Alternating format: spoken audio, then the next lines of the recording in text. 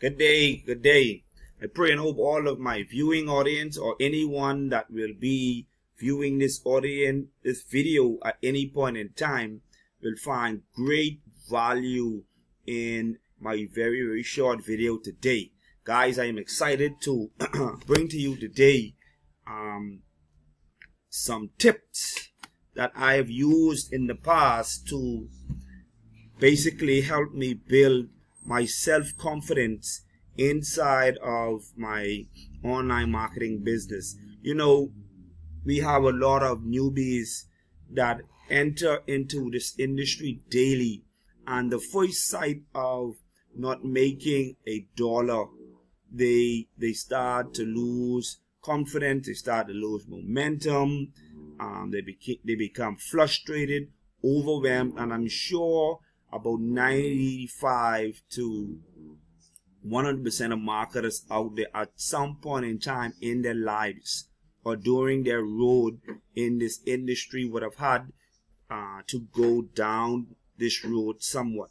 Okay, and so that most of you won't find yourselves in a situation as bad as I found myself back in my beginning days into the online marketing industry. What I'm going to provide for you today is I'm going to give you, and this is also my topic um, for today. Okay, I'm going to provide for you, I'm going to give you four simple, basic tips that I used or I implemented in my life to build my self confidence or to help build my self confidence. Okay. And just before we start, ladies and gentlemen, I want to say to my viewers out there, I am not one to make anything shiny. I am not perfect. Uh, I am just a simple, regular guy, just like anyone else out there in the industry. Okay. So I am not going to give you tips or advice on something or, or, or give you tools that I do not use within my personal business or life at, uh, in general. Okay. And so I just wanted to clear the air on that. And so today my topic is four tips on how to build your self-confidence. Okay. And my very first tip that I give to my partners, uh, my students, and anyone that comes to me on on advice in reference to building or in reference to uh, building self-confidence. The very first thing that I would would tell them, and this is actually my first step, it is you must be an uh, an avid reader. Okay, if you are in the the the online marketing industry you you you want to read books that are relative to okay? And so anything that deals with um, confidence building um, lead generation um, the handling of money um, bitcoin uh, cryptocurrency whatever niche you may be in you need to read books that are relative to the online affiliate direct marketing uh, industry. And what I simply mean by that is when you read uh, these sorts of books or these sorts of literature, it you you you you begin to see and read that the authors of these books also experienced challenges along their journeys uh, to success.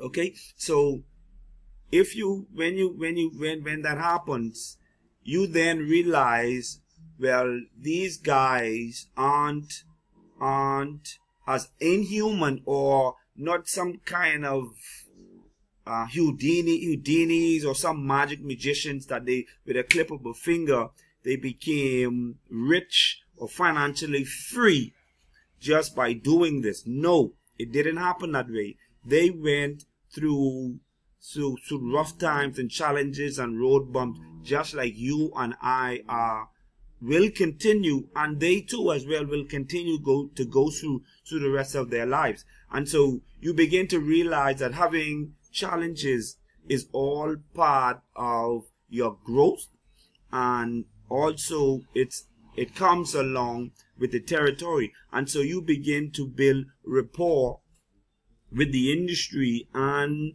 your your challenges and so you expect challenges you learn from them and you grow from them and this is the main reason why I, I, I suggest to people grab a few books, whatever it may be on, and learn from the readers. Sorry, learn from the authors that produce and put these books out there. They are out there for for a reason to give you value and to cut down the the the the, the amount of mistakes, so to say, or so to speak, on on on on on your part okay? And so you learn from their mistakes and you improve.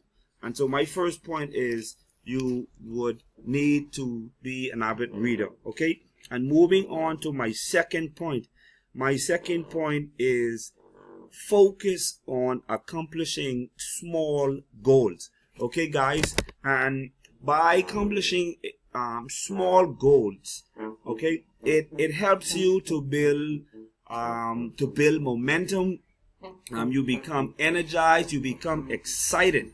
Okay, and this is something that you need to do daily, not just today, skip three days, do it on the weekend, I do it once a month. No, accomplishing, accomplishing successfully accomplishing small goals will help you to build momentum. It will build your self-esteem. And more importantly, it will help you to build your self-confidence. Okay, the better your self or the higher your self-confidence is, you are able to attack larger goals. And once you your self-confidence is at a certain level, larger goals won't be as large as if as when you didn't have anything accomplished at all. And so accomplishing small goals will help greatly in your success within your industry in accomplishing the larger goals. And so it is very important to remain focused on successfully accomplishing small goals daily. Okay. And my third point, my third point is, well, a lot of you that viewing this may call it crazy but hey, like I said in the beginning, I'm giving you tips that worked for me and I saw it fit to pass it on to you guys. And it is having conversations with yourself. Okay? And what I mean by having conversations with yourself, you can talk to your inner self in silence. Um, I do it all the time. For example, I I I say to myself, um, I can do this. I will do this. I must do this. Okay?